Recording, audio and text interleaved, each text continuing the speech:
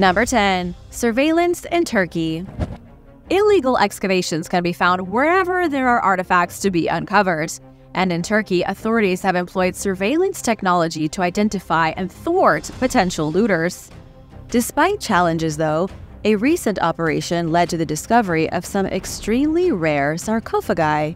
Researchers were warned of potential robbers near the ancient city of Aphrodisias, so they started surveilling the area using drones and motion-sensitive cameras. After several weeks of surveillance, authorities detected a group of men who were clearly up to no good. Local cops searched the area and found recently dug pits in an olive grove. And amazingly, one of the pits contained a half-unearthed sarcophagus. The looters had managed to uncover a hidden burial pit that archaeologists didn't even know about. They dug all the way down to the sarcophagus, but clearly hadn't been able to get them out of the ground. The site was then placed under the proper protection, and archaeologists came in to finish what the looters had started. During their work, they discovered another sarcophagus and a secret buried altar. One of these sarcophagi is decorated with a Medusa relief, and they all date to about 2,300 years ago, when Turkey was dominated by Greek influence. However, little more is known at this point. It was an extremely rushed mission because of the looters. So, more research is needed to learn who was buried in the stone coffins and what god was worshipped at the altar. Side note, these things are very heavy, so doesn't that make you wonder who is going to buy an enormous stone ancient sarcophagus? What were the looters going to do with it? Let me know your thoughts in the comments. And now for number 9. But first, I want to give a big shout out to Mike7077 and 666 So I'm Better Off Dead. Thank you so much for watching and supporting Origins Explained. We love being part of your day and hello to your town. If you are new here, be sure to subscribe and join the family. Number 9. Stolen Treasures in Italy Thousands of artifacts that were stolen from graves and pillaged from archaeological digs were recently recovered in Italy. Italian police arrested 21 suspects as part of an operation to crack down on the illegal sale and distribution of historical objects. It was a massive mission that required the manpower of several hundred officers. The people who were arrested were under investigation for what the authorities described as clandestine excavations. And according to the chief prosecutor's press release, they were busted for receiving stolen goods and participating in the illicit market, both at home and abroad. Authorities recovered a total of 3,586 pieces of historical and commercial value. They also confiscated 60 metal detectors, shovels, metal spikes, and other objects needed for excavations. There was a total of 1,679 coins that were recovered, all of which were minted between the 4th century BC and 3rd century AD. But that's not all. They also recovered jugs, vases, oil lamps, and even weights that were once used in a loom from the illegal excavators. In Italy, these people are known as tombaroli, or grave robbers. They go to ancient sites and dig around for whatever they can find. Then the grave robbers traffic the artifacts across Italy and internationally to collectors who will pay big money. This project was aimed at curbing the predatory actions being taken against archaeological heritage. Experts say the grave robbers got especially bold during the COVID 19 pandemic. Thieves needed new opportunities to make money, and the lockdown made it easy to pillage archaeological sites. How severe of a crime do you think grave robbing is? What do you think is an appropriate punishment? Let me know in the comments below. Number 8. The Blood of Christ Thieves in France recently returned a shrine said to contain the blood of Jesus Christ himself. It's called the Precious Blood of Christ relic, and it's one of the most sacred holy objects that you've never heard of. It was stolen from Normandy's Fécamp Abbey in June 2023 by clever thieves. They locked themselves in the church overnight once everyone was gone. Then they pillaged the relic and other works of art. They even stole everything they could that was made out of gold. But the thieves had a tough time holding a shrine with Christ's blood in it, so they contacted Dutch detective Arthur Brand, a man commonly referred to as the Dutch Indiana Jones. He's infamous for tracking down stolen artwork and historical objects. The thieves contacted him anonymously and then left the relic on his doorstep. Arthur said his doorbell rang at about 10:30 p.m., and that when he looked outside, he saw a box in front of his door. And sure enough, it was the blood of Jesus, one of the oldest relics of the Catholic Church. Arthur said the thieves likely didn't know what it was when they took it, but once they realized they were holding on to the blood of Jesus, which they'd stolen, they wanted to get rid of it fast. Arthur said the precious blood of Christ relic is about as close to the Holy Grail as you can get. The artifact is 2,000 years old, and it's dated to almost the exact same time that Christ was crucified. Do you think the precious blood of Christ relic really contains the blood of Jesus Christ? Or do you think it's nothing but a fake? Let me know what you think in the comments, and be sure to subscribe if you haven't already. Number 7. Louisiana Looters The first people to live in North America made their way to the swamps and woodlands of Louisiana 12,000 years ago. They established homes, built settlements, and explored the land. They also left very little evidence of themselves behind, but when they did, it was mostly things like stone tools and spear points. These ancient relics have been hidden underneath the forest floor for thousands of years, but due to hurricanes and flooding over the past two decades, many of the artifacts have been revealed. During the summer of 2023, archaeologists worked hard to extract the relics before they could be stolen by looters. The U.S. Forest Service recently made a statement saying that the area was continuously occupied throughout prehistory.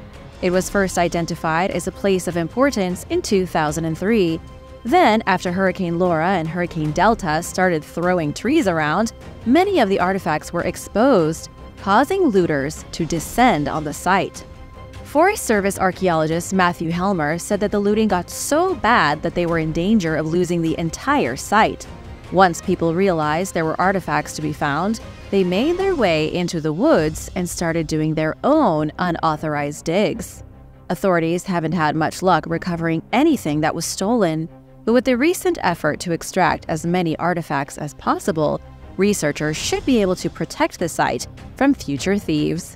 Number 6. Games and Corpses in China Archaeologists in China discovered a tomb near Qingzhou City, and within the tomb, researchers came across pieces from a board game that hasn't been played by anyone for 1,500 years. They found a 14-sided die made from an animal tooth as well as 21 game pieces and a broken tile that had likely been part of the game board. This was an ancient Chinese version of some game that researchers can't identify. They have all the pieces, but nobody knows how the game was played. Was it like Monopoly, Backgammon, Dungeons and Dragons? There was more inside the tomb than just pieces to a board game.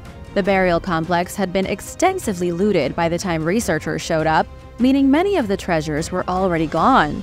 An archaeologist counted 26 shafts that had been dug into the enormous burial chamber by looters in the ancient past. Surprisingly, one of the shafts was found to contain a human skeleton. Archaeologists think the body likely belonged to one of the looters, who got trapped when their shaft collapsed. And if that's true, they basically buried themselves alive. Number 5. The Thracian Princess's Tomb Thousands of archaeological sites in Bulgaria have been plundered by nefarious treasure hunters. And in June 2015, local archaeologists learned that looters were working on a series of tunnels to pillage the tomb of an ancient Thracian princess and her family. The tomb underwent an emergency excavation to save everything of historic value before the thieves could finish their tunnel. Archaeologists got the artifacts out of there while recording as much data as possible. It was an extremely brave endeavor for the thieves. They had had to tunnel through a mound of earth almost 200 feet in diameter. The Thracian princess was buried on the first level, but there were three levels of tombs beneath that. Researchers think the man in the deepest tomb was likely the patriarch of a noble Thracian family. They may have been part of the Odrysian tribe. However, researchers haven't managed to learn much more about them yet. As for the robbers, they were foiled this time but there will always be another tomb to pillage. Archaeologists in Bulgaria believe that the illegal trafficking of antiquities is the second most lucrative crime in the country. The only crime that makes more money than grave robbing is narcotics trafficking. And yes, both are run by the Bulgarian mafia. Number 4.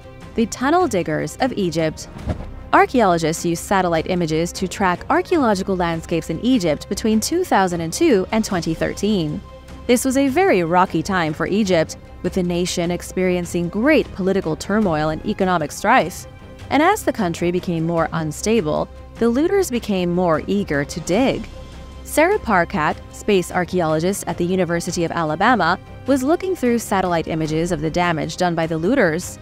Sarah is famous for uncovering lost cities and forgotten pyramids using satellite technology, so she was the perfect one to document the extensive destruction of the tomb raiders. Sarah was shocked to find holes dug across the Egyptian desert in the thousands.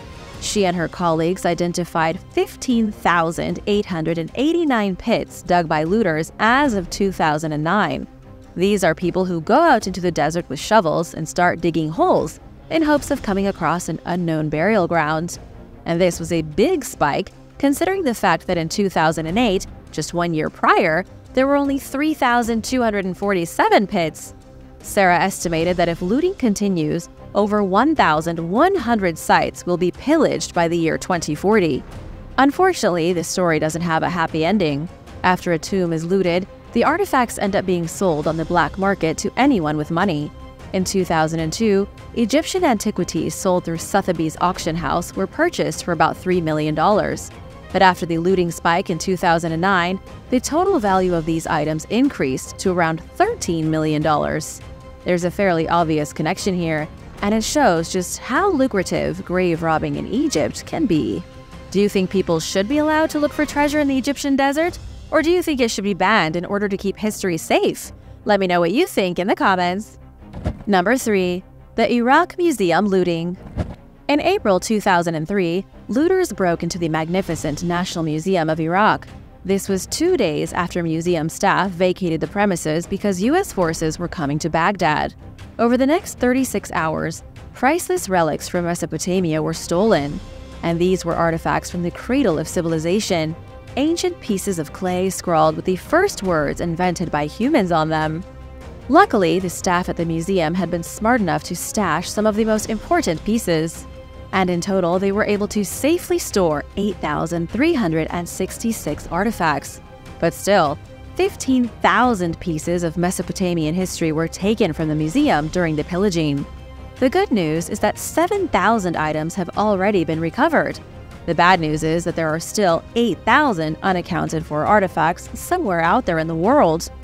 Relics like a black stone weight made in the likeness of a duck around the year 2070 BC is still missing, and so too is a fluted golden lapis bowl that was uncovered from a cemetery in the city of Ur but those are only two out of 8,000.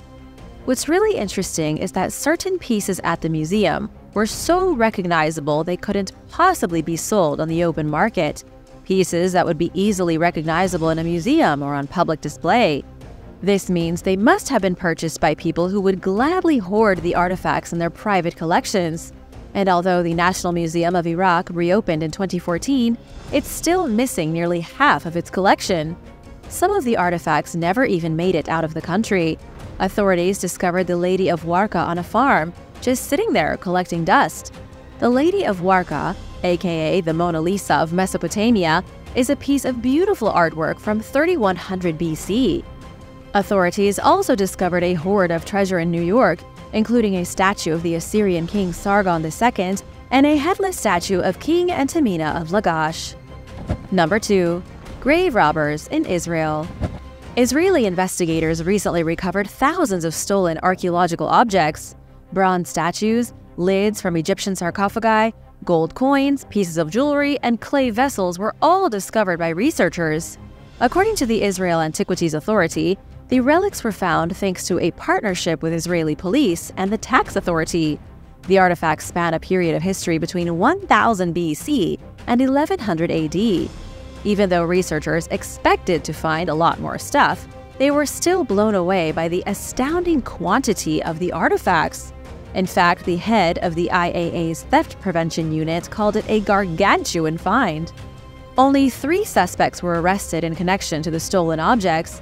They were antiquity dealers, not the thieves who stole the artifacts. The looters themselves likely stole the relics from graves across the Mediterranean and in South America. Researchers were surprised to find treasures from Africa, the Mediterranean, and Andean societies. And at some point, the collection made its way to Israel, because it's one of the few places in the world where merchants can easily obtain a license to sell ancient goods. This allows shifty dealers to do business without causing too much suspicion. The most impressive artifacts are pieces of ancient pottery, especially figure vases made in Greece and Italy during the 5th century BC. These spectacular vases depict what everyday life was like in the ancient world. However, many of them may have been ruined. Experts think that the antiquities dealers restored the artifacts to make them look more exciting, hoping to earn themselves extra cash because in most cases, vases found in tombs and graves are smashed or fragmented. Number 1. Kim Kardashian, Accidental Archaeologist Kim Kardashian solved an archaeological mystery, although it was entirely by accident. When the star wore a gold dress at the 2018 Met Gala, she posed next to the coffin of a long-dead Egyptian named Nedjemankh. And afterward, the photo went viral leading to the conclusion of a criminal case. As it turned out, the coffin was stolen and sold to the Metropolitan Museum of Art for $4 million. Nedjemankh was a priest of Heryshaf, the ram god of ancient Egypt. He was buried around 2,100 years ago, and his sarcophagus is covered in inscriptions and funerary spells from the Book of the Dead. Inside the coffin is a figure of Nut, the sky goddess. 2,000 years after Nedjemankh was buried, his sarcophagus was illegally excavated in the Al Minya region of Egypt. An anonymous tipster saw the picture of Kim Kardashian standing next to the sarcophagus and recognized it. But why? It was because he was the one who dug it out of the ground almost a decade earlier. He was angry that the gang of pillagers never paid him the money he was owed. So when he saw where the coffin had ended up, he ratted them out. An international investigation revealed that the anonymous tipster was telling the truth. In 2013, the coffin was sent to an antiquities dealer in the United Arab Emirates. Papers were then forged and the artifact was mislabeled. Then it was sold to the manager of the Dionysus Gallery in Hamburg, Germany. An export license was faked following a restoration process. All the papers said the coffin was legally exported in 1971. The coffin then went to a French antiquities dealer, and they were the ones who finally sold it to the Met for $4 million. But after the big reveal, thanks to Kim Kardashian's picture, the gold encrusted coffin was taken back to Egypt. Thanks for watching! Be sure to subscribe and give this video a thumbs up for more. See you next time! Bye!